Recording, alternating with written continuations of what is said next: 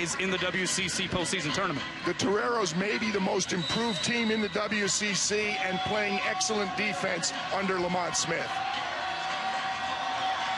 So the crowd on its feet, tip goes up in the air, and it will be the Bulldogs, last year's national runner-up, controlling here on the opening possession.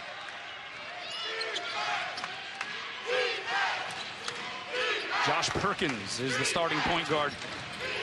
Second on the team in scoring, and he walks with it there. So an immediate turnover for Gonzaga, something Mark Few said his team needed to be careful with against this San Diego D. They don't want to give this team confidence playing in their own building. And frankly, the Zags haven't trailed in better than three games. So USD with a chance to do something that hasn't been done in a long time against Gonzaga. Torero's throwing a bit of a new wrinkle in the starting five once again. Sitting their top scorer, Isaiah Pineiro. He will come off the bench. The lone senior on the roster, though, Cameron Neubauer, gets the scoring started for USD. Nice move by Lamont Smith going to his senior.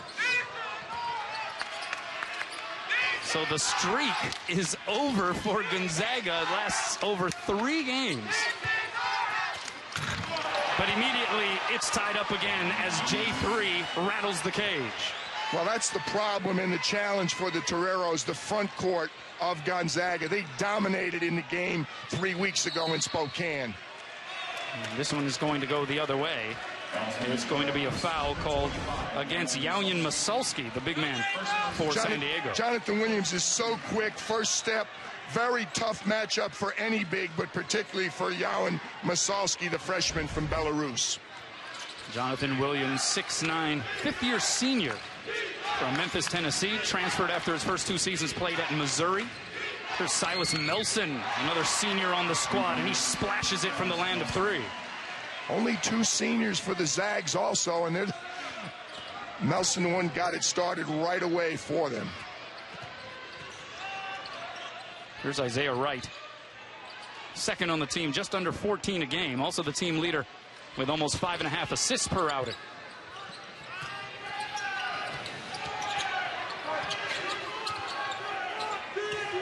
Five seconds on the shot clock. It is taken by Olin Carter III. He's averaging almost 12 points per game off the mark. Here come the Zags. Zach Norvell Jr. No, the tip right in front of the rim by Killian Tillie at 6'10 did not go either.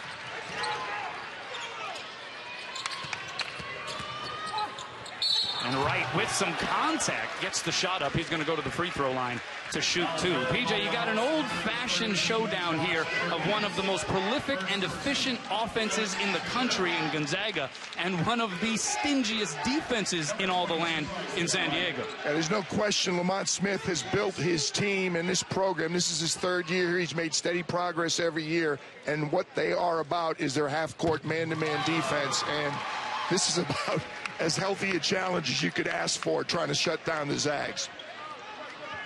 Lamont Smith, the fifth head coach since the Toreros joined Division One back in 1979. Previously an associate head coach at New Mexico under Craig Neal. But a former Torero player, and he has a couple of them, in fact, on the staff. He finished at 98, played here for Brad Holland, who's uh, in, in the audience tonight, another for, uh, talented coach and an excellent player himself. So a 5-4 early Bulldogs lead. Here's Williams.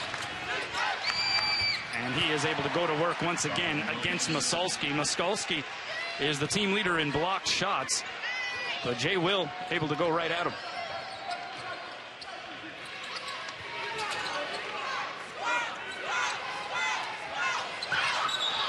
And a near takeaway by the Bulldogs, but it's going to be a foul against Silas Melson. That's his first. I think Mike Reed was going to let it go, but then when the ball came out of Yauhen's hand, he had no choice but to call it. Mark Few in his 19th season, 29th overall at Gonzaga, the winningest active head coach by percentage, at least 20 wins in each of his seasons as Gonzaga head coach. And, well, they were within a possession or two of winning the whole shebang last year. Right down low, lost the handle. They get it in low to Tillie. The Frenchman unable to get that one to go, and there is an offensive rebound by Williams. We had the man from Germany defend the man from France right there. Neubauer taking care of Tillie. European battle down low, and it goes out of bounds, stays here with Gonzaga. That was, as you saw a moment ago, something that Lamont Smith was concerned with, the offensive rebounding prowess of Gonzaga. Well, they're going to pound the ball inside, and they're going to try and pound them on the glass. They had a 14-11 advantage in the first game in Spokane three weeks ago.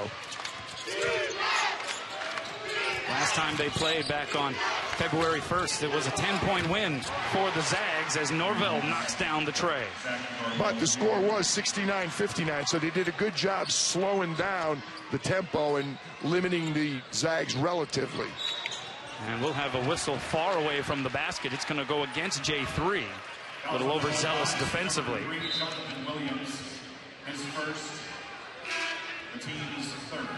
Little 10-2 Gonzaga run being enjoyed here in the last meeting. It was Gonzaga outscoring San Diego in the paint and kind of dominating down low. Olin Carter had an excellent game for the Toreros. He knocked down the threes. They dug a big hole at halftime and came out and finally got going. They're going to need threes to stay in this game tonight. Isaiah Pineiro off the bench, got it off the glass, and flexes the muscles as he gets back to the defensive end. Well, IP's their leading scorer and rebounder. Norvell, quick trigger, no. Rebound, pulled down by Pineiro. So immediately making an imprint here on this contest. And they're going to say it's out of bounds the last touch by Pineiro. So San Diego trying to hold strong here. Make some threes. The problem when you play Gonzaga is obvious. They average 85 a game. You need to score points if you're going to beat them. You literally have to be very strong at both ends of the floor. See some of the dominance in the paint and under the boards in that graphic. Well, I mean, first, there was no question about it in the first game. 38 20 points in the paint. They're off to a good start there. 24 7 second chance points. And can't give up as many offensive rebounds as they've been giving up. A 10 point advantage the first time around when these two teams met in Spokane. Gonzaga able to notch that victory back on February 1st. Here's San Diego now off of the miss. Open three from the corner is good.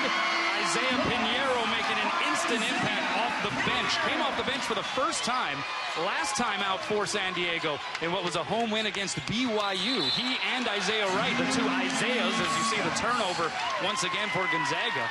They were pulled off of the bench, even though they're the top two scorers. Lamont Smith saying he just kind of wanted to give them a wake-up call. And now Pineiro, he kind of likes the dynamic of having this guy with some fire off the bench. Well, he's played well. They responded well. That you know, the message was was well taken. I mean, again, IP leads them in points and rebounds, and uh, he listened to Lamont Smith, and, and he's been very, very good uh, in responding to that message. But I mean, he's a starter. He's going to, I would think he'll start the rest of the way for Lamont Smith. Yeah, he will definitely get starter minutes. There's no doubt about that. Left corner three off the iron, too strong by Isaiah Wright. Both teams sloppy early, too many turnovers. Here's Rui Hachimura off the bench for Gonzaga. He's turned into a bit of a showcase for them by himself. As you see him chase after the loose basketball and draws the foul. He was huge for Gonzaga in that win in Moraga back on February 10th. And for some reason, he loves to play against St. Mary's. He had 21 and four boards in Moraga, and he had 23 and four boards in the home game in Spokane, the loss to St. Mary's. So uh, Rui likes to play against the Gaels. Killian Tillie from straight on leaves that one short. And Toreros with an early opportunity to take the advantage again. Scored the first bucket that ended a streak going back over three games. In fact, seven halves that Gonzaga had not trailed in a basketball game. An amazing streak, really. Here's Juwan Gray, who just checked in a little while ago. Good defense by Corey Kispert, stayed on the ground. With two seconds on the shot clock, the hoist by Olin Carter. And we'll have a whistle underneath the bucket. It's going to go against Pineiro. A lot of fouls early. Both teams a little sloppy. Gonzaga's having trouble finishing in the paint. They've had a lot of good looks in the paint. Uh, the, the court here at Jenny Craig Pavilion is all clear, so the paint is is really not the dark color we're used to. But the Zags have had it right where they would like to get the ball, but they've been able to finish inside. Three team fouls for each side. And here's Hachimura. Has had a knack for stepping up big when the spotlight has been the largest for this Gonzaga team throughout the season and a nifty move there on the baseline. He's an excellent young player. He's going to be something else. I, I think an another year, uh, he's going to be a very, very high pick. A 6'8 sophomore from Toyama, Japan. As you see a foul called against Norvell. One of the keys that the Gonzaga coaches talked about was keeping his team off the free throw line, and they're committing too many fouls early. Nice spin move by Rui down there. Got the baseline move. Again, very, very good quickness when you look at Jonathan Williams, Rui Hachimura, and Killian Tillie. Three of their bigs have very, very good quickness. Hachimura born of a mother of Japanese ancestry, his father from Benin in West Africa. Didn't start playing basketball until he was 13 years of age as Pineiro hits the floater, and he is doing some damage right now against this Bulldog D. And here's another turnover. Pineiro in transition.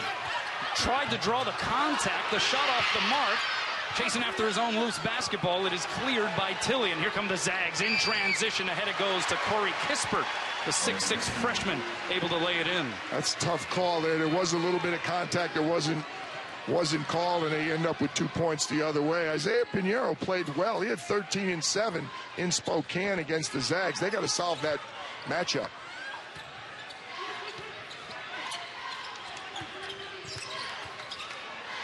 Ten to shoot.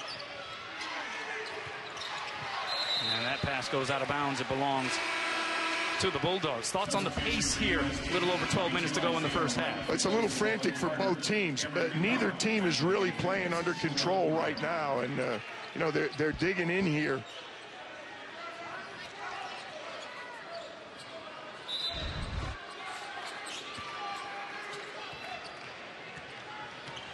So a three-point advantage here for the Zags early.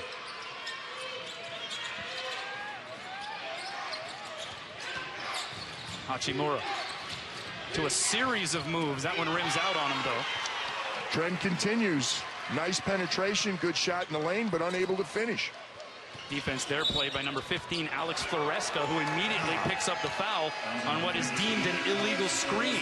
So under 12, we got a timeout on the floor, and the foul's piling up. Yeah, we got a sloppy start. A lot of turnovers, a lot of fouls being called, some of them offensive that led to those turnovers, but neither coach can be happy with the way they're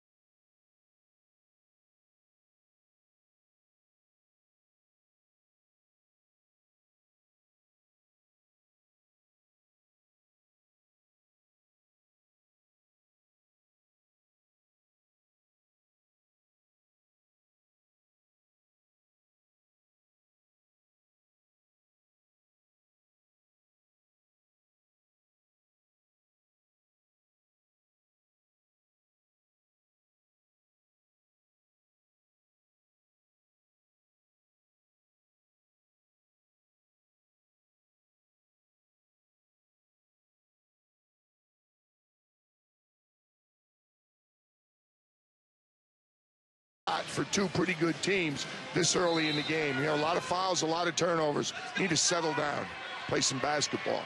Less whistles. Got Gonzaga with a win, clinching at least a share of its sixth straight West Coast Conference regular season title. Perkins the pull-up. That one rattles in and out. Offensive board J3. With all kinds of traffic around him, couldn't get it up. And we'll have a whistle on the second putback. Yeah, goaltending. Corey Kispert with the second offensive rebound of that possession, and then when he got it up, uh, had goaltending, I think, on Massalski. That's the second rebound. He got it, but I think it was off the glass first. So the goaltend called against Massalski indeed. It's a 16-11 advantage for Gonzaga. Looked like Massalski maybe reached up through the rim or through the net to try to block that one. Here's Pineiro. Even in Minsk, you're not allowed to do that. That's right. J3 in transition. A lot of contact there. And in fact, he will go to the free throw line. But Isaiah Pineiro looking at the officiating crew saying, what about the contact at the oh. other end? At least that's his opinion. Exactly. Saturday at 4.15. This one could determine the Big 12 regular season champion as number 8 Kansas takes on number 6 Texas Tech in a sonic blockbuster. Then, fifth-ranked Duke hosts Syracuse at Cameron Indoor and still waiting to see when Marvin Bagley III is back for the Blue Devils. Both games are on ESPN and the ESPN app. What the Jayhawks perhaps on the verge of doing once again is nothing short of remarkable, maybe their 14th regular season Big 12 crown. Well, we had Kansas right before Christmas, and they just continue to get better week by week. But in Big 12, you can't take anything for granted. And that trip to Lubbock is going to be very difficult, as that free throw was for Jonathan Williams. Cameron Neubauer picking up his second foul in that last sequence. So a six-point advantage here for Gonzaga. Here's Tyler Williams. Tried to lob it up to Yauhen Massalski of Belarus. we'll have yet another foul called here. I think they got Silas Melson. He was trying to help slow the big down when he was going to the basket. Instead, he's going to earn a trip to the bench. I believe that's Silas' second foul. That is. And he helped out. They tried to throw the lob over the top to Massalski, and Silas tried to get in his way. So two for Melson. He has to sit. And we still have over 10 and a half minutes to play in this opening frame.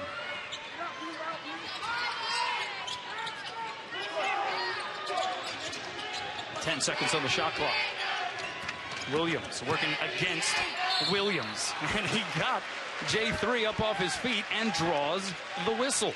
Yeah, one of the Cardinal mistakes right there. Jonathan Williams had good position. He was between his man in the basket. He had no reason to, to you know, leave his feet, but his namesake, Tyler Williams, got him with the pump fake and got him up in the air. Killian Tillie will now be coming in give J3 a little bit of a rest, I think. Yeah, two fouls for J3, so you're starting to see it now impact in the individual totals here, and some of these guys are going to have to sit for extended minutes. Well, we had it right from the beginning. I mean, there's been, you know, fouls called starting early, and uh, USD is going to be shooting free throws the rest, the rest of the half. Next one will be the seventh. Uh, Tyler Williams knocks it down, 6'5 junior from Plano, Texas. One of the team captains, not flashy, does a lot of things well, though, for this Torero squad.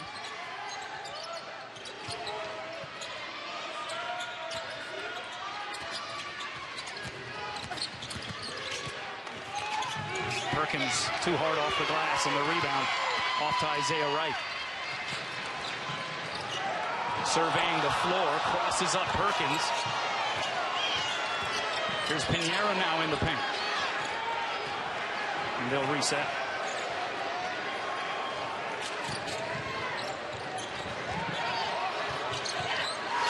Under 10 to shoot. Massalski trying to work up a shot against Tillie, and he goes lefty off the glass. Didn't look pretty, but very effective. Massalski averaging just four points and three and a half rebounds per contest. Hachimura to the other end. Can't get the reverse empty possession for Gonzaga, and the Toreros within three with the ball here, nine and a half to go in the first. I tell you, the Gonzaga shot chart looks pretty. There's a ton of shots in close, but they don't have circles around them. They're not going down. Pineiro, the pull-up. Too strong, and the rebound off to Hachimura. How much of that is just Gonzaga not finishing? How much is this USD defense bothering you? I say 50-50. They're getting really good shots, but they must be being contested because they're just not finishing inside. Kispert can't hit. Long rebound, though, and another possession here for the Bulldogs. See all the assistant coaches on the USD bench talking to their defense right in front of them. The possession's not over till you get the defensive rebound. And that runner by Tillie, nicely done. Prior to that, Gonzaga was shooting 33% for the game. And Gonzaga, one of the best two-point shooting teams in the country. They need to get it into gear if they want to pull away here. In the now 19-year coaching tenure of that guy, Mark Few. The numbers associated with Mark Few and the success he's had is mind-boggling. You know, my favorite one is he's got the highest winning percentage in college basketball coaching right now, the highest. He's the third fastest to 500 wins. You could go on and on and talk about the great job that Few has done at Gonzaga. Dish down low to Gray from right, up in, and one.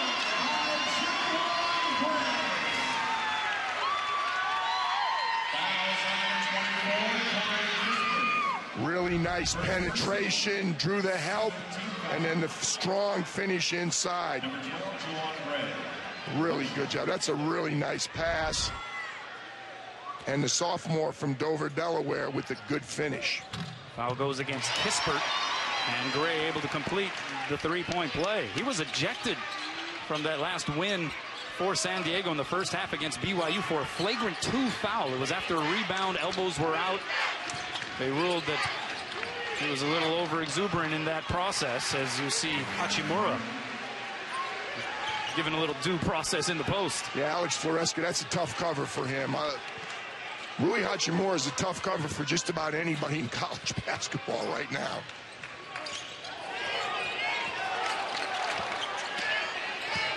Here's Floresca, goes to the hook shot, gets the follow, unable to put it in. Tyler Williams under the rim, and it's stripped out of bounds. USD giving the Zags a little bit of their own medicine, beating them up on the offensive boards. Rui Hachimura is he's big, he's quick, and he's got very, very good skills. That's why he's such a good cover. Little step through and a finish off the glass having to undergo surgery. And how about Alonzo Trier for Arizona, ruled ineligible by the NCAA for testing positive for a PED. Apparently the same substance. Well, they, they said traces. I know Arizona is appealing that, anxious to see whether they're going to discover that that was already in there. Nice finish inside. The big man, Yauhen Massalski, overpowers the Zags inside. Good execution on the out of bounds pass and a really clever entry pass by Isaiah Wright. Isaiah Wright. The guy, the big guy, they call him Squirrel. Big Squirrel. Squirrel with a good finish. Lamont Smith saying when he was looking through video of Massalski, said he looks kind of squirrely. He was all over the place. And sure enough, when he arrived here and his assistant coaches saw him in action, they agreed. And so Big Squirrel all of a sudden became the de facto nickname. Three ball by Norvell. That one rings out. Gonzaga now two of seven from beyond the arc. Step back by Wright. Doesn't get the bounce there. Rebound collected by Hachimura.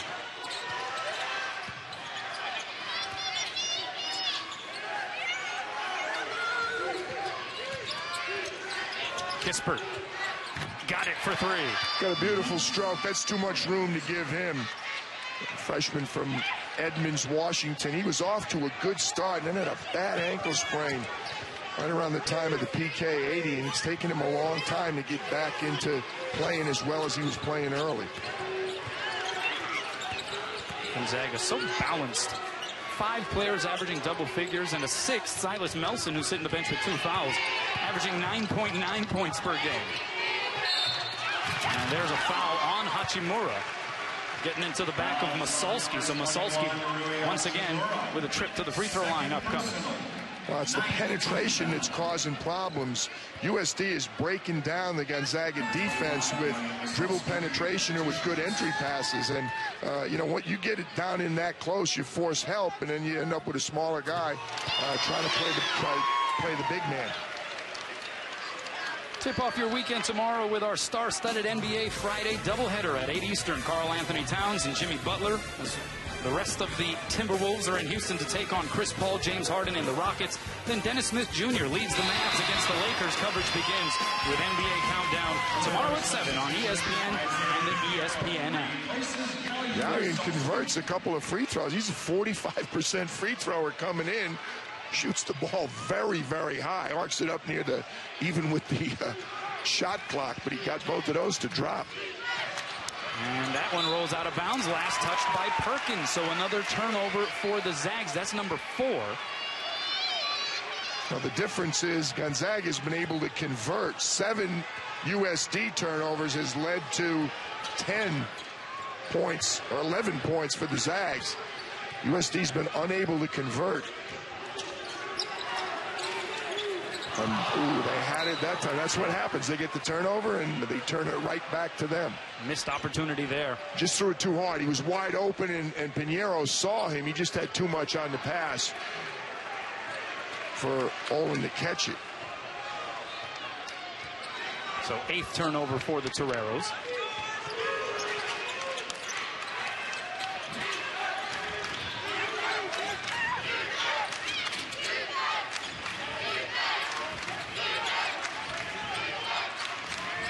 10 seconds to shoot. That pesky defense once again forcing the three. This time, though, Tillie able to knock it down. That is an area where San Diego defensively is extremely stout. Second in the nation coming into the week in three-point percentage defense. Well, Killian Tillie, one of the best. He's actually tied for fifth in the WCC in three-point percentage. Excellent shooting big. Pineiro got it to go plus one. Once again, a really good entry pass. Good cut by Pineiro. Good entry pass inside, and the fouls keep building up. Isaiah Wright, beautiful lead pass. Pineiro's awful big. Josh Perkins is a good defender, but Pineiro too big and too strong. Number 22, Jeremy Jones, the 6'7 redshirt junior from San Antonio, picking up the foul there.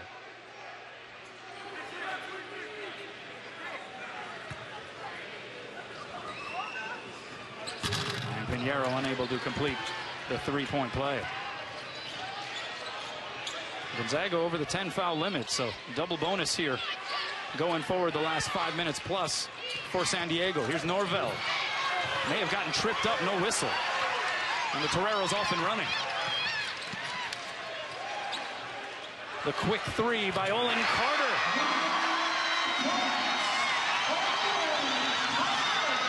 Back the other way, misses on the lay-in. Torero's control. Zags trying to get into their zone. They were unable to get it set last time, and a quick three resulted. There's their 2-3 zone. This time they do a better job getting it set up. Game is tied for the first time at 27. Wright, bounce pass underneath. Floresca had to save it from going out of bounds. And Olin Carter the third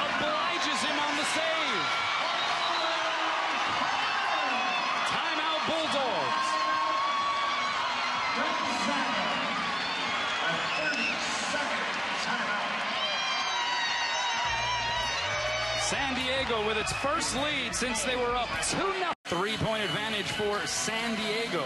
A 13-4 run put together over the last 325. And Olin Carter III, the latest to join the fraternity of 1,000 career point scorers in Torero's history, surpassed it in his last game against BYU. He knocked down the last two threes. They did. They first time they didn't do a good job getting back. Second time they attacked it well. We heard Tom Crean talking about free throws.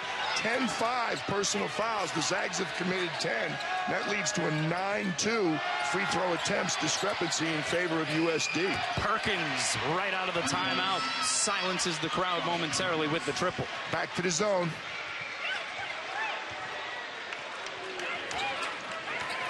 Perkins, a 41% three-point shooter coming in. Wright, though, from the elbow. And one rims out. Quality look, though, PJ. Yeah, he did. I think Jacob Larsen, the bigs, got to go up there. There was nobody low. They got the ball into the foul line area. Zach Norvell with the heat check. The follow not there by Kispert. Torero's looking to run. Open look for Carter.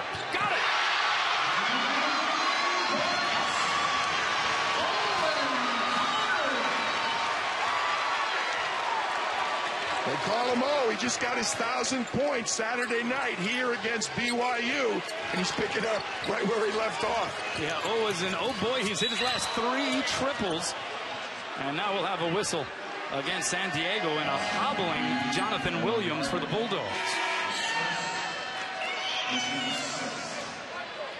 That's never a good sight to see. No, Josh Therian, the trainer, standing there out of bounds, trying to decide whether he needs to relace the shoes and tough it out. Oh, yeah, you can see the yep, ankle tripped. rolling.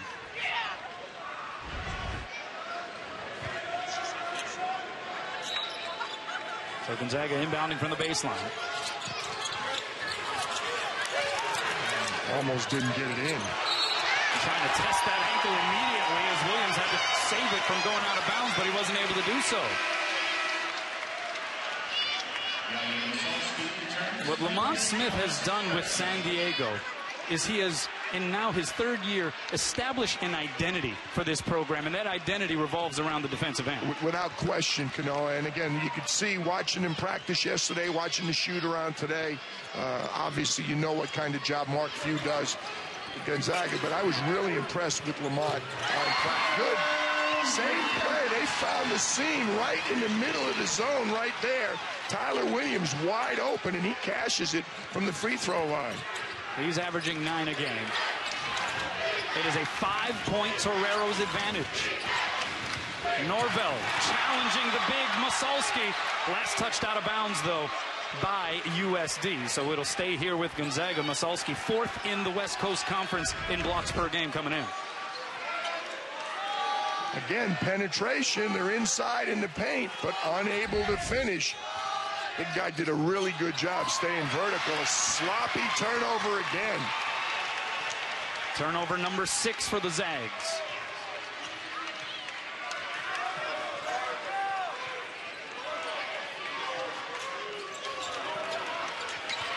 So Jacob's got to come up. He did a good job that time.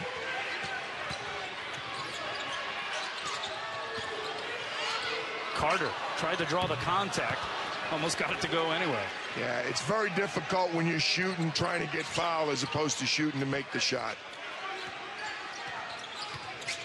Perkins able to get deep penetration off the dribble. And a whistle against the Toreros. Perkins will shoot two.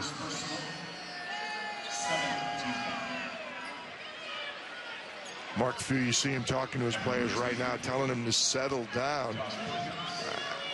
I really think he's got to like where they're getting the shots from, but he may not like the shot. They've got to be a little bit more under control, perhaps pause a little bit before they, they take the shot. Jacob Larsen, I, you know, I think with two mistakes right there, it's hard for the big, but they got that look right in front of them on the zone and then a turnover on the other end. Perkins knocking down the free throw. Foul was called against Tyler Williams. Preseason All West Coast Conference selection. He gets both of them to go. Over a thousand career points and over 400 career assists for Josh Perkins, the redshirt junior. He's going to be top 10 in a lot of categories before he finishes in Spokane.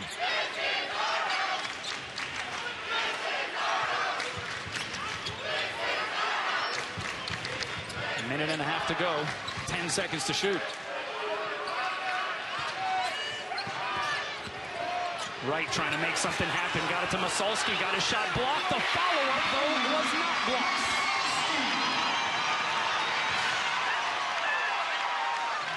Back to a five-point advantage. The Zags fortunate to maintain possession here. Silas Melson back on the floor, by the way, playing with the two fouls, PJ. Yeah, he and uh, J3 got to dodge a bullet here for a minute, get into the locker room. His team can regroup. Pineiro for three. And secured by Williams. So San Diego gets another stab at it. Pineiro, nobody picked him up, but he misses the chippy. Good look, really good look. Here's Melson. That one doesn't go. Another offensive board for Gonzaga. A lot of clanging noises coming at both ends right now. Uh, Corey Kispert did a good job tracking down that offensive rebound. Zags can pretty much bleed out the last 22 seconds here. And here comes the crowd. No foul to give for the Toreros. They're, they've committed seven. If they do foul, it'll be a one-on-one. Two seconds to shoot. J3's got to get it up. He does. Just in the nick of time. That's how the first frame comes to a close. San Diego with the 37-34 advantage. Nine points apiece for Pineiro and Massalski, holding Gonzaga to 37% from the into the body and gets the finish inside. So all three of those guys, nine points apiece. They've got USD sitting very, very nice as we begin the second half. The numbers for both teams. Gonzaga, the first time not leading at the intermission since December 21st. Well, they're not doing the thing that they normally do very well, which is make two-point field goals. As good a three-point shooting team as they are, they're exceptional inside the arc, but not tonight. Kind of a contested shot right there, but Massalski with the offensive rebound.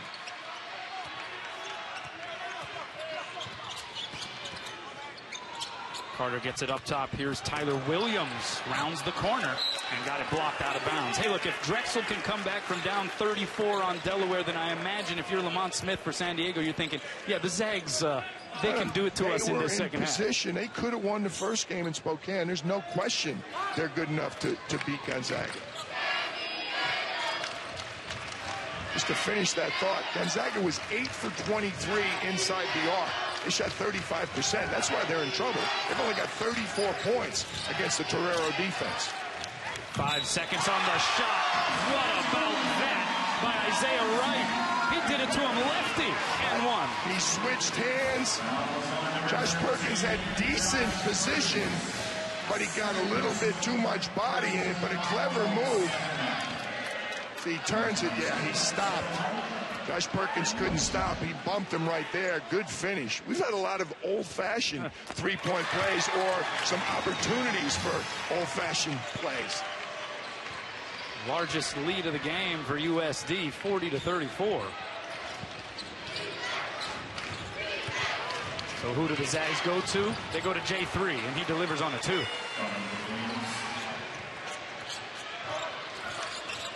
Williams with seven first half points. That gets him to nine. Wright the lob. Massalski comes down with it and lays it up and in. Freshman having one of, if not his best game all year. And don't forget that first possession, Kanoa, that was keyed by an offensive rebound. 11 points for Yauhen Massalski. And then gets the block on J3.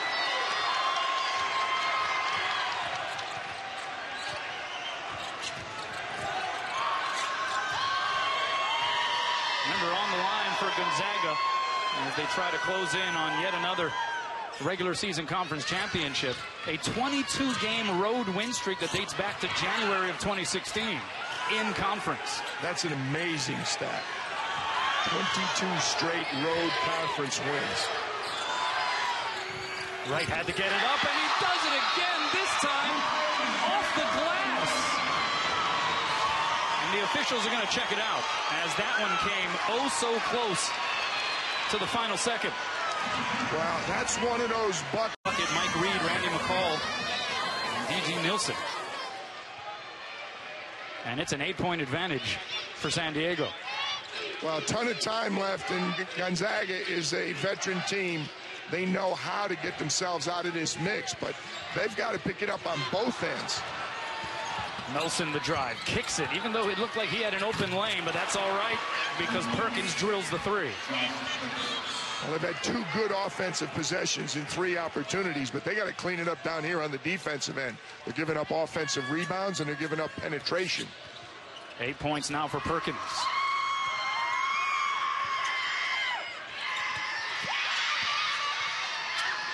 Fighting for position down low is Isaiah Pineiro, and it'll be a foul defensively against Melson on the overplay. That's number three.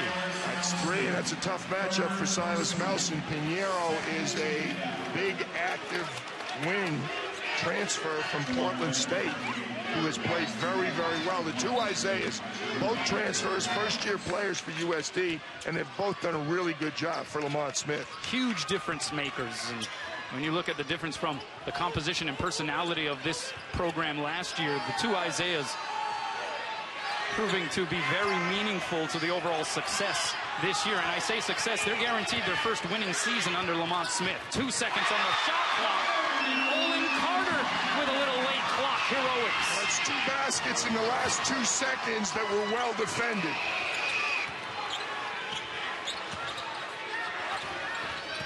Tillie, little show and go. Gets it up off the window. The bruise and the bucket. Now the Zags right now staying in with their offense, Kanoa, which is fine. They've got to stay in touch with USD, who's off to a great start. They had a great start second half in Spokane also. They trailed by nine, and they came out, and Olin Carter got him going with some threes to begin the second half. That got USD back in it. This time they've started out the second half on fire. They've opened the game up, and Gonzaga doing a good job offensively, staying close, but they got to clean it up on the defensive end. So Killian Tillie to the free throw line. And he very coolly knocks that one down. Little full court, one, two, two. Kind of a nuisance press by the Zags. They're not necessarily looking for a turnover.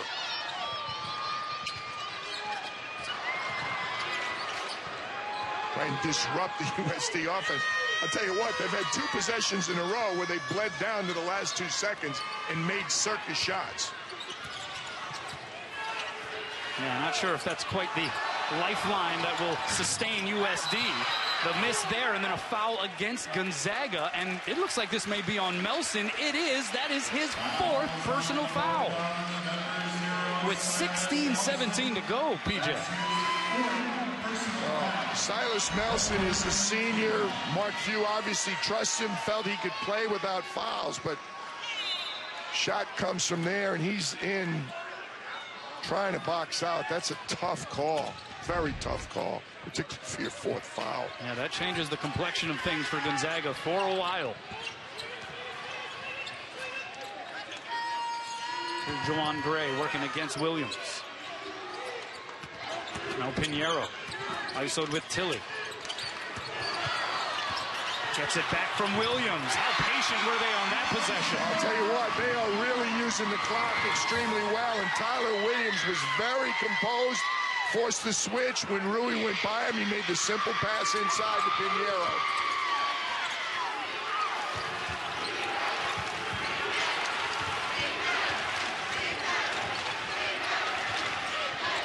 Williams.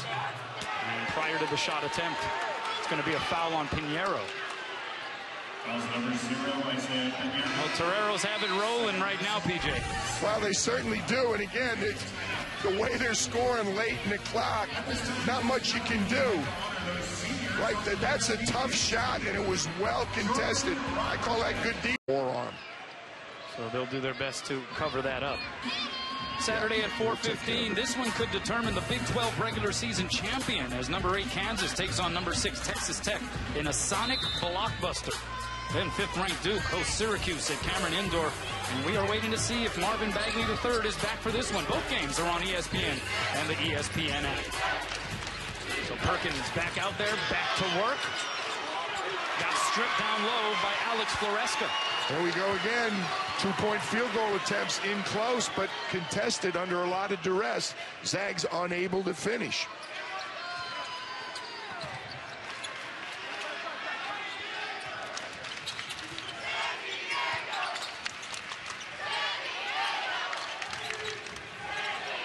Pineiro squaring up against J3. Tough fadeaway blocked by Williams, and he is able to gather it for possession. Excellent defensive possession, and here's a transition basket to follow.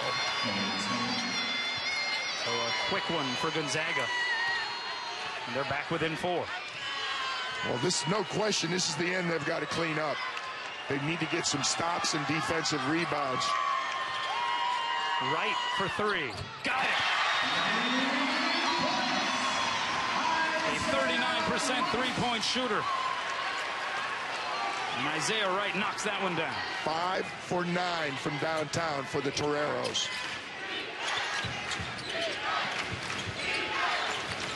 Hachimura squares up. That one off the heel. Rebound to Tyler Williams. Wright open from the corner. Offensive board, Floresca. Might have gotten away with a push, but it's an offensive rebound nonetheless. Wright. Putting on a little back and forth dribble against Williams, but they'll reset.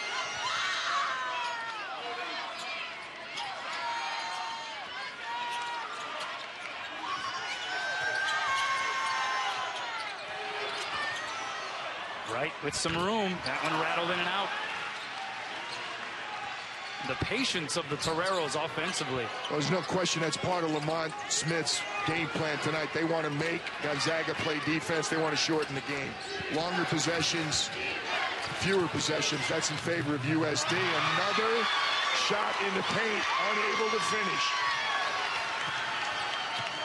Also something that has to happen, perhaps in an upset of this magnitude, if this were to go down. Not only making improbable shots yourself, but the top 10 team missing the easy bunnies. Well, they're missing some easy shots, but I, again, I credit USD defense for most of that. And again, under 10 to shoot. The three ball left short by Williams. Trying to chase down the loose ball. Look out as Williams hits the deck hard. And remember, he had already rolled that left ankle in the first half, walking gingerly, but appears to be okay. Yeah, he looks fine.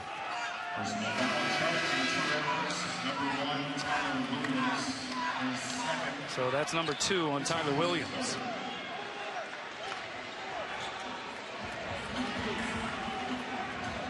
Mark Few, such an incredible coaching job that he's done in his career, but perhaps even more this year. I mean, this is a team that lost 65% of his offense from the national runner-up squad a year ago. Oh, there's no question. I mean, you talk about getting wiped out. I mean, Przemek Karnowski, Jordan Matthews, Nigel Williams-Goss. That's three starters, major contributors. And then the super sub, Zach Collins, number 10 pick in the draft off the bench. They were wiped out, but they have not missed a beat.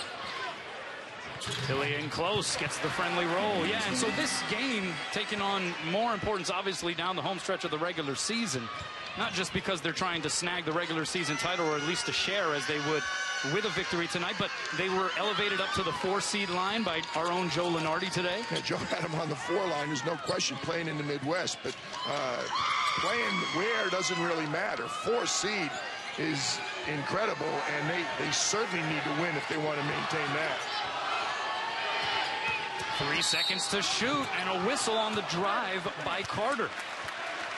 San Diego playing with fire, taking the shot clock down under 10 repeatedly, and it has worked out positively for them for the most part. Well, they're doing it intentionally. I didn't see the foul right there, but again, you look at the, the resume. Uh, I mean, there's no question. They played the tough non-conference schedule. They always do.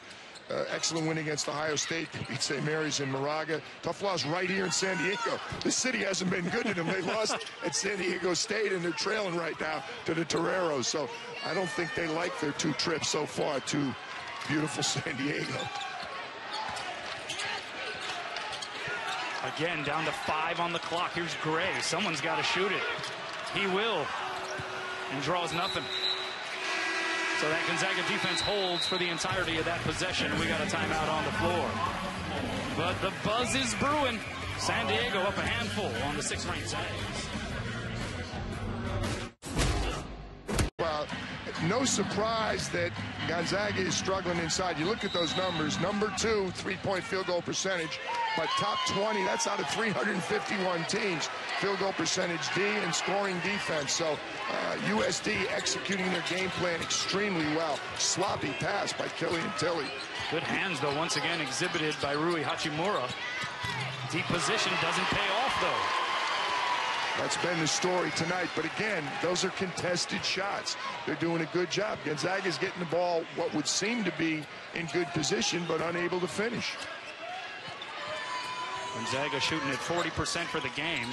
Entering this game, they were averaging 50% for the year. That's a bad miss by Isaiah Pineiro.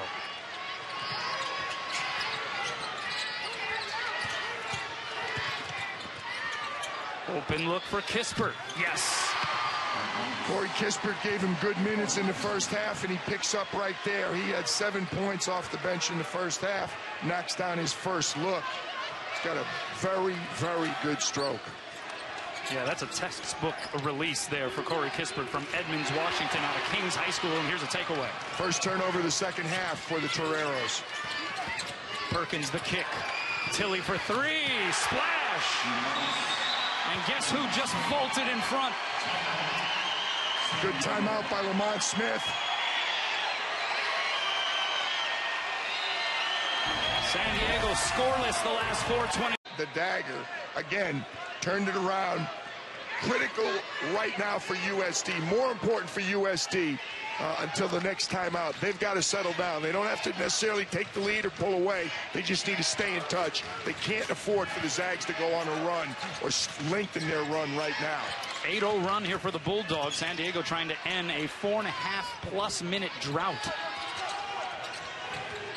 And six seconds to shoot. It's right. He's been good late in the shot clock. That time, though, it bounces off the iron rebound, Hachimura. Good contest by Killian Tillie. Perkins for three. He bit off a little more than he could chew yeah. on that particular offer. I don't think Few can be too thrilled with that shot. Right. Unable to hit. So the shots that were falling earlier in this game and even earlier in this half not so much here as of late for the Toreros. Well, it's going to come down to execution right now.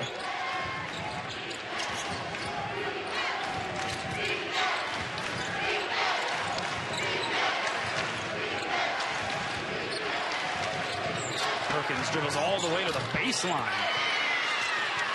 That's a good shot, though. Josh Perkins just missed that shot. That's a good shot. In transition, it's right. Six minutes of scoreless basketball here for San Diego. Can Carter end it? Yes, he can. Olin Carter likes to play against the Zags. He now has 13. Ooh, good call. They're going to call the offensive against Williams with the opposite arm hook. DJ Nelson right on top of the call. That's an automatic call. CJ3, watch his hand. That can't do that. Just reach right around with the left hand. Easy call. Correct call. In this day and age in college basketball, they're going to call that each and every time. Every single, and in the NBA, they're going to call that on every level.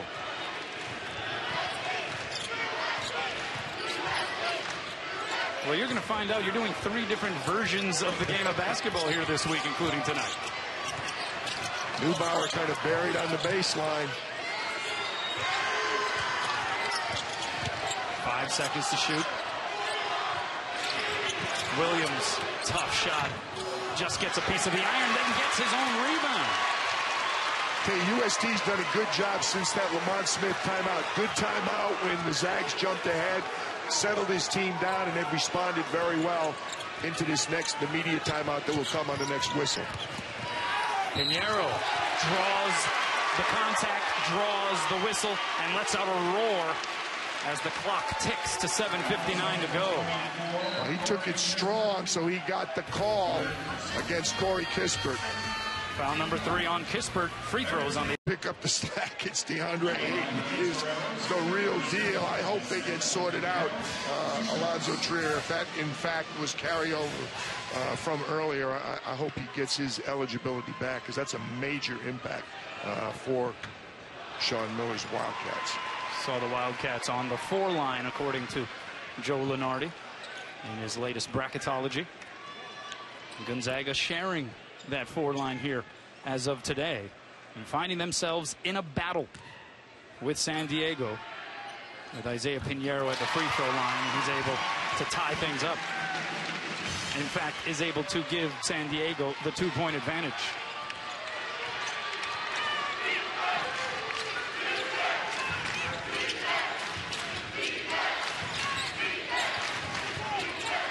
The runner by Norvell offensive foul is called. It's been a rough go of it You're being, Norvell. you're being kind. Zach Norvell's one for eight from the field, one for four from the three-point line, that's his fourth turnover right there. That's not a bad night. That's a disaster. Gonzaga coaching staff, though, they refer to him as the microwave, stealing a little bit from the old Vinnie Johnson he hit moniker. two threes late in the game up in Spokane when they were on the ropes, and USD was right where they wanted to be. He hit two. Oh no, yes, knocked down a pair of threes. All right, hesitated on the three, now drives the teardrop off the heel. And a Good foul's going to go against USD. Yeah, he's going to call it, uh, trying to move him out right there, Alex Floresca. Really good contest. I think it was Killian Tillie. I was screened by the official in front of me, but again, this teardrop had to go a lot higher. No, it was Rui Hachimura right there. That's a great extension by Rui and Floresca. You see him just pushing him out of the way. That's only four fouls for USD. Excuse me, that's seven for USD if the scoreboard's right.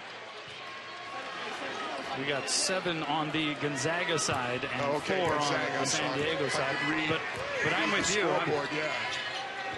I'm scoreboard illiterate here in Well, this put the- particular arena. USD is obviously on both sides. Oh, good block. Great play by Pineiro. Good contest on Killian Tillie.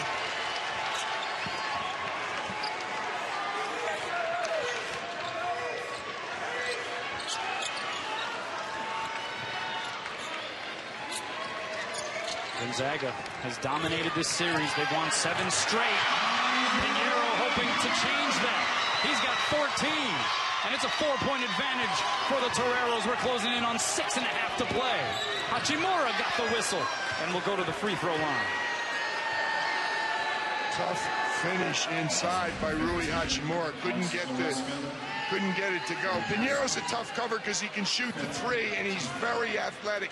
Got the ability to put the ball on the floor and go by on the dribble as he did there. No weak side help coming for the Zags. Hachimura hoping to end a drought that has lasted three minutes and 55 seconds for the Bulldogs, and he does. 82% free thrower. One of the many things Rui Hachimura does very well. Just the fifth Japanese-born male to receive a Division One NCAA basketball scholarship, Rui Hachimura. People compare him in terms of his physique and build, in some instances, to Kawhi Leonard, players of that ilk. Yeah, he's he's bigger than he's bigger than Kawhi. I, I just like he's the whole package. I think he's really going to be a special player. He's still got a ways to go, but I, I love where he's at right now. Silas Melson in the game for Killian Tillie. Give Killian Tillie a quick rest. Killian Tillie's kept them in the game. Uh, he's done a really good job for Mark Few. How about Few rolling the dice with Nelson playing with the four fouls? Well, he realized the game's down the line right now, and they, they have enough players. Uh, Silas has to come out and give him some good minutes. How important was Killian Tillie for this team, scoring seven straight points in one stretch? Open look for Williams. Can't hit. Offensive rebound, Pineiro. And it'll be last touched out of bounds by Gonzaga. Nero came up with the rebound, and then the Zags had him pinned on the baseline. I guess the one man in the double must have been Silas Mel or Zach Norvell right there. Must have had his foot out of bounds.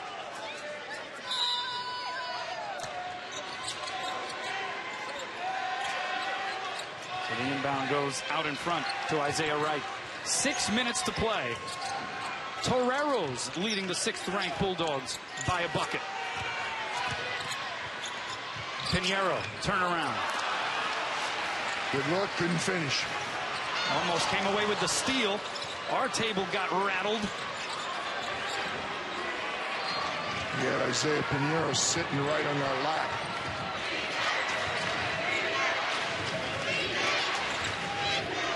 Here's Norvell. That went off the heel. Rebound. Great box out by Tyler Williams. Zach Norvell just unable to finish inside or outside for that matter.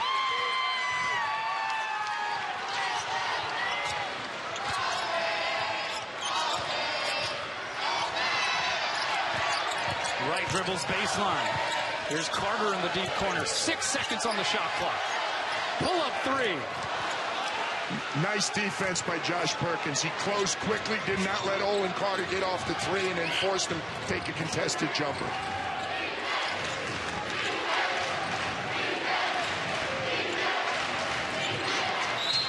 Great cut and dish as Norvell able to finish and one, and maybe the microwave showing signs of heating up. Well, I'll tell you, he picked a pretty good time. But, he, you know, the key, youngsters watching out there, Zach Norvell not able to make a bucket. He's one for nine, but he moves without the ball. That's a really good cut to the basket. J3, Johnathan Williams with the good look. It's not going for you. Move without the ball. Take the ball to the basket. Earn a trip to the free throw line. He did both in that possession, Zach Norvell.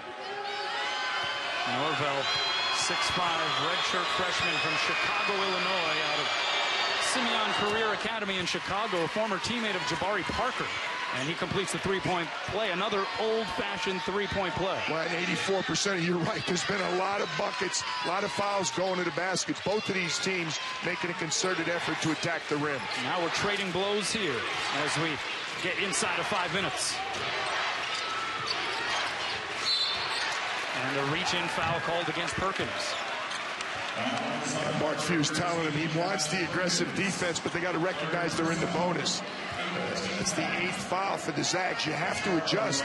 You're in the bonus. You can't defend quite that aggressively.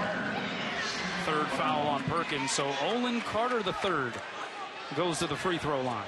77% free throw shooter. But I tell you what, both teams really struggling to score right now in the half court. And the last thing you want to do is put somebody on the free throw line, particularly somebody who's a pretty good free thrower.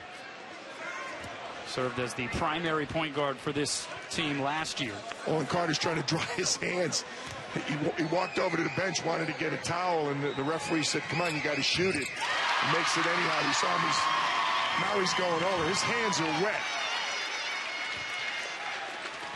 Yeah, went for an interesting method to dry his hands prior to that first well, he had to just reach down. They, they wouldn't let him go. They said, you know, you're taking too much time. You got to shoot the free throw.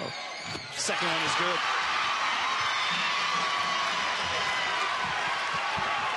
Just like that, the Torero's back in front. And the bull pit behind us, student section.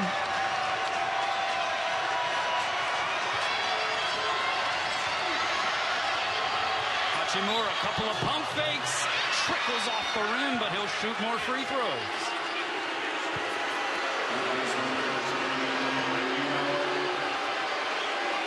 Well, the bullpen doesn't like the call, but again, Rui just basically makes him make the call. I just shake my head. It's it's such an interesting matchup. Now, see, Cameron left his feet a little. That's a good call. Get chopped down with his hands and left his feet a little bit. I mean, it's unbelievable. We got late in the game right now. You got a senior playing his last game who just was awarded, by the way, first team all academic West Coast Conference, Cameron Neubauer. You got a player from Berlin, Germany, guarding somebody from Toyama, Japan. Yeah. In San Diego. Absolutely. Neubauer to the bench with the four fouls. He was honored prior to the game as the lone senior. The lone holdover from the Bill Grier era of Torero basketball. And Hachimura good again from the foul line. Nine for 10, Gonzaga from the free throw line, and have needed every one of them. Eight points for Hachimura. And here's a takeaway. And a reach-in foul by Isaiah Wright. Bad foul. Might say he was going to get a breakaway, but I don't know. That's going to put them in the bonus when we come back from the break. One point advantage, Gonzaga. BYU Saturday. That so if is they going to be tough also. exactly, if they lose one of these games but win the other, then even though they claim a share with St. Mary's, if the Gales were to win out, St. Mary's, by virtue of the tiebreaker, would get the number one seed in the West Coast Conference tournament. Well, that tournament at the Orleans has really been an excellent. I think it's the 10th anniversary of the WCC moving that tournament to Las Vegas and the Orleans. It's been a great, great event. And more years than that, those two hook up. All it really matters, it'll be a slightly better path to the finals. But all we're really talking about is which one's wearing the white uniforms and which one's wearing the blue. should those two advance. Hachimura coming up clutch out of the timeout. Three-point advantage now for Gonzaga. Of course, the Bulldogs could render all of that discussion moot if they just win out here. If they take care of business.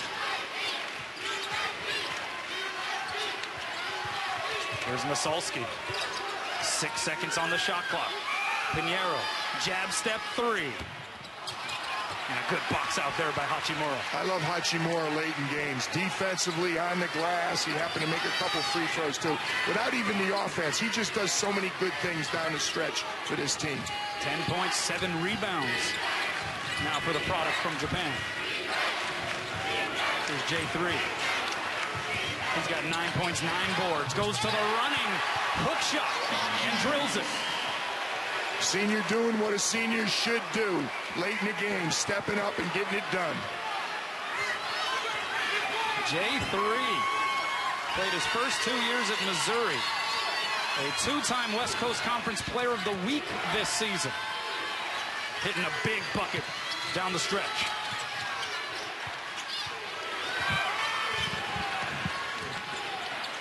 Pineiro. Seven to shoot. Got a hand on it. Lamont Smith spent a lot of time on out of bounds execution this morning. Six seconds to go right now. They need to do that. Williams doing that at the other end, giving Gonzaga a five point advantage. Enormous play right here, this out of bounds play. With six seconds on the shot clock. Looking to get it in, gets it into Williams, and he's fouled. Down amongst the bigs. Good execution right there. A clever entry pass, and then he got the foul.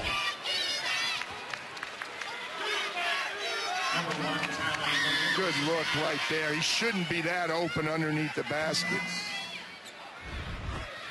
Tyler Williams, an 86% free throw shooter. Both teams have done pretty well at the line as Williams hits that one. Gonzaga 11 of 12. San Diego now 12 of 15. Both teams really getting it done. 80% is pretty strong for USD, but the Zags at 92%. This has been a really good, even though at times sloppy, it has been a really competitive basketball game. No, it's been an excellent game. And, and the reason that it was sloppy, it hasn't been sloppy in the second half. Both teams done a real good job taking care of the ball in the second half because the defensive intensity is good. As Tyler converts the second free throw. A timeout taken by Mark Few. Well, every possession now down the stretch. Critical. Both teams in the bonus.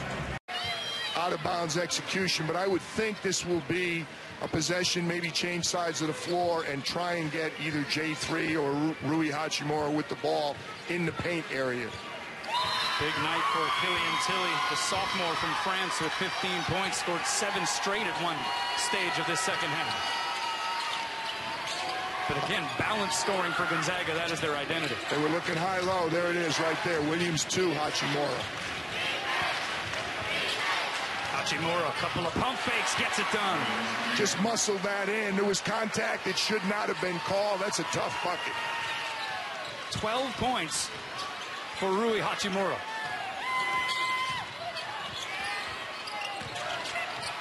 Right. Gets it into the hands of Tyler Williams. Tough shot again. Tried to go glass. That rebound ripped down by Rui. Guess who? Hachimura on the bucket. They'll use the clock right now, not necessarily to hold the ball, but to make sure. Mark Few with the call. Diamond is the call right there. Want to go back inside. This usually goes to J Dub on that side of the floor. Now they're going to Rui. There he is again. Tough fadeaway. Got it to go with the baby bounce. And Hachimura lets out a grin as he goes back to the defensive side of the floor. Lamont Smith wants to talk it over rightfully. Seven point hole, but a minute and 16. Obviously, the biggest possession, offensive possession of the game for the Torero at the other end by pounding it inside to Johnathan Williams and Rui Hachimura. Silas Melson bothered by foul trouble all night. If he had dropped 12 tonight, he would have joined the ranks of the double-digit scorers for Gonzaga. And he may well before it's over. Huge possession. Does not have to be a three. Three would be nice, but two would be just as good. You got to put the ball in the basket, and then you need to stop on the defensive end. That's a lot of contact. Ton of contact. A traveling violation, though, is called. The official under the basket, D.G. Nelson, had his arm raised as if he was going to call a foul. It was overruled by Mike Reed. I bumped him. He was going east-west. He wasn't going toward the rim. He had him going sideways, but you would like, to. if I'm Lamont Smith, I like to get that call. Mark Few certainly wouldn't have liked it, but there was enough contact there to warrant a call. That is a major turnover in this juncture of the game with a buck 03 on the clock and a foul committed in the backcourt. And the crowd starting to sense yeah, what quick foul right there. They're not wasting any time.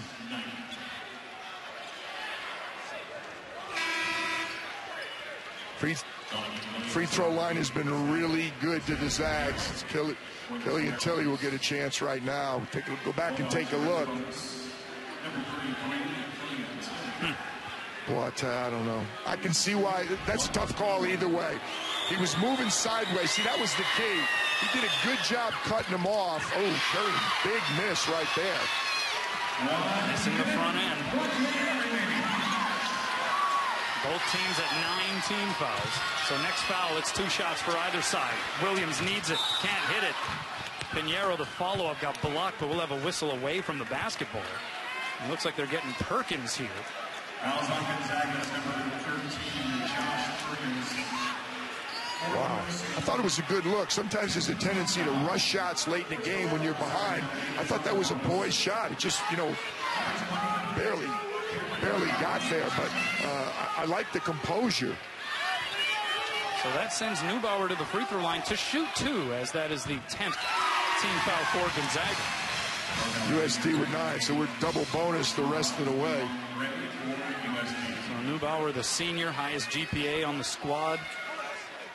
His dad, Eckhart, was a decorated German swimmer, and his mom played hoops at Cincinnati and professionally in Germany, and they were all in the house tonight. Mark Few gets Johnathan Williams out of the game right now. Johnathan's not a very good free throw shooter, 57%. He's got the ball handlers and the free throw shooters in the game. Five point differential and a timeout signaled by Norvell. No one open. Zach Norvell wisely used one of the timeouts. So one timeout apiece remaining here with this a huge win in Moraga February 10th. Yeah, this league ends this week. They start, they're one of the earliest ones. They start that championship week. Their final game will be on Tuesday. So this is the last week of competition in WCC. Trouble getting it in again.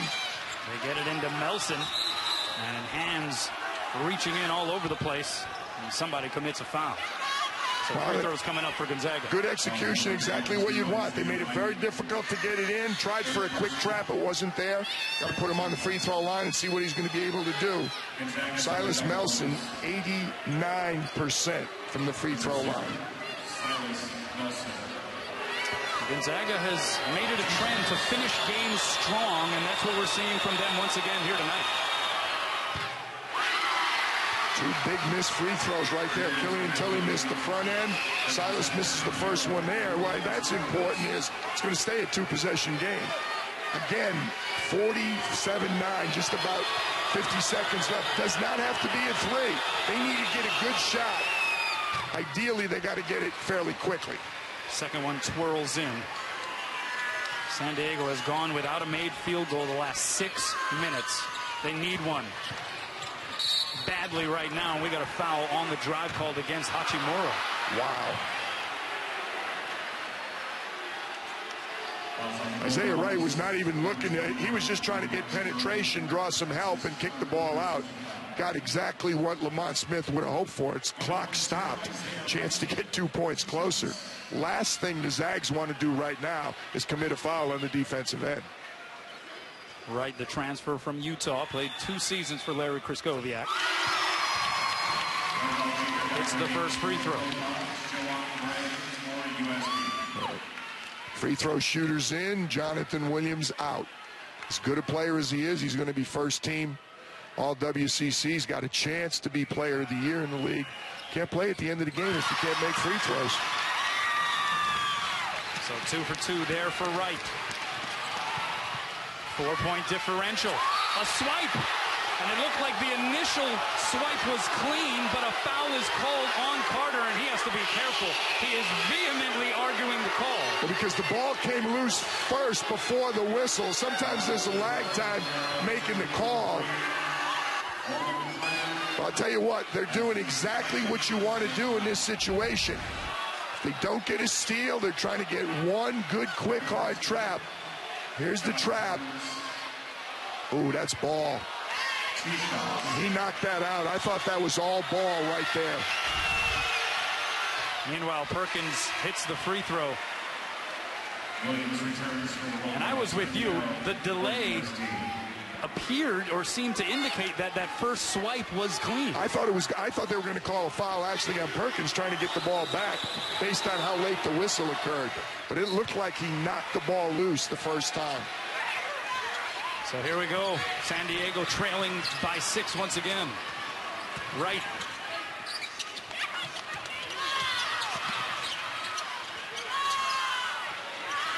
Here's Carter for three. Yes!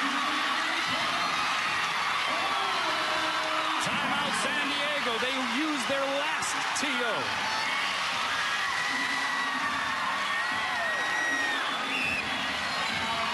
Missed one. Right now, again, the challenge, get the ball in bounds. It's going to be a quick trap. You have to think after that last whistle that this is going to have to be a pretty hard foul to get called right now. I think there's going to be a little latitude for the Toreros right now with their trap. No timeouts left for San Diego. Gonzaga has one. Norvell gets it into Hachimura. And a near steal again, but a foul once again. It's Isaiah Wright, and that one was oh so close as well. Rui thought he was going to get fouled. He held on to the ball. He thought he was going to get fouled. Then when they didn't foul him, he passed it back. They got their hands full getting it in. See, they didn't foul, and now he made it. You got to meet that ball. Zach Norvell Jr. has got to meet that pass. He didn't. There's a reach. There's no question he fouled him. Isaiah Wright reached across his body. Yeah, that angle was indisputable. Norvell to the free throw line. He misses the first. An 84% free throw shooter. This is the one that makes it a two-possession game. No timeouts left for USD. Gets to the second.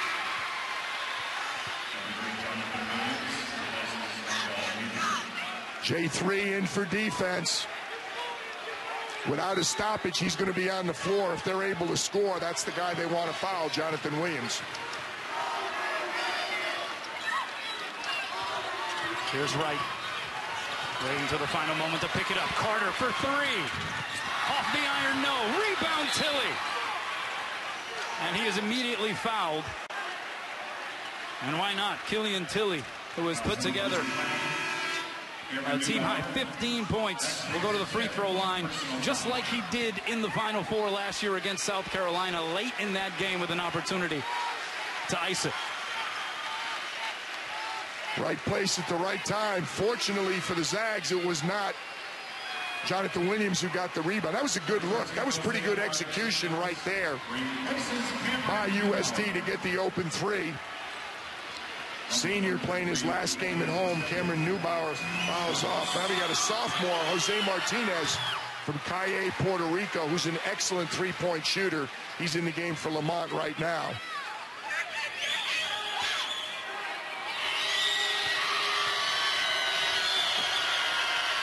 Martinez had five threes against Pepperdine. Don't sleep on him. He can shoot a three. Still a two possession game, but San Diego needs some threes. Instead, the right takes the freebie deuce. Yeah, but it's a two possession game. Inbound. That goes to Melson, and he's immediately fouled by Wright. Your thought on Well, Wright's quick, decision there? Quick bucket is always good. They were right on the line right there. We used to call it either 32 or 33. If it had to be a three, we'd say 33. Down six points, about 15 seconds to go. That might have been. But again, as long as it's quick, that's fine. They missed the free throw right now. You know, you can get something in transition. But uh, again, looking at the situation, it's four right now. Nelson can make it a two three-pointer game. College There's bas- five. College basketball live to follow us.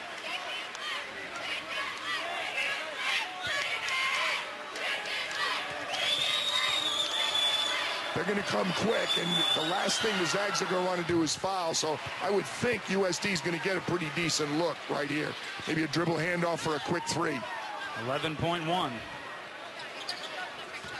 There's the handoff. Carter. There's the three. Are you kidding? Olin Carter hits again, and it is a three-point differential once more.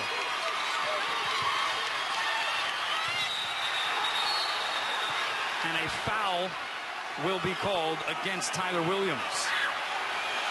Wow, I thought I thought DJ Nelson called out of bounds. Mike Reed came in from near half court with the foul.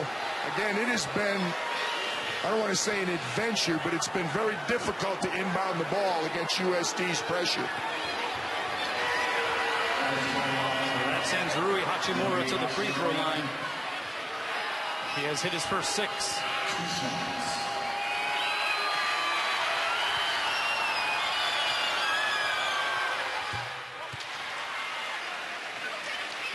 Seven of seven from the charity stripe. But that double bonus really makes it different at the end of a game. The difference between a one and one and a two shot foul, enormous. Gonzaga wrapping up the regular season Saturday at BYU. San Diego travels to San Francisco. The hoist falls short for Olin Carter, and that's how this one comes to a close. So Gonzaga gets a scare, but they're able to survive here at Jenny Craig Pavilion, 77-72. Excellent, excellent job by Lamont Smith and his San Diego Toreros. Just not quite enough firepower to close the deal against the number six team